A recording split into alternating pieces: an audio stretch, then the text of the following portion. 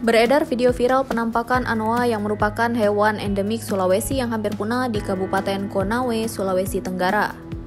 Video viral yang merekam aktivitas hewan langka tersebut beredar setelah diunggah sejumlah akun Instagram dan Facebook pada Minggu 5 Juni 2022. Dua anoa itu dikabarkan terekam di kawasan hutan Kecamatan Rota, Kabupaten Konawe, Provinsi Sulawesi Tenggara. Dalam video itu terlihat satu indukan hewan dengan nama latin Bubalus depressicornis tersebut beserta satu anaknya. Indukan hewan yang kerap disebut kerbau kerdil tersebut tampak berwarna agak kehitaman dengan dua tanduk lurus menghiasi kepalanya. Sedangkan anakan hewan yang sudah hampir punah tersebut terlihat berwarna coklat. Di awal video tersebut terlihat induk anoa memakan rumput. Sejumlah akun Facebook juga mengunggah penampakan anoa tersebut. Warganet takjub dengan kemunculan hewan yang sudah hampir punah tersebut. Bahkan dikarenakan sangat langka, warganet mengibaratkan hewan di cerita dongeng.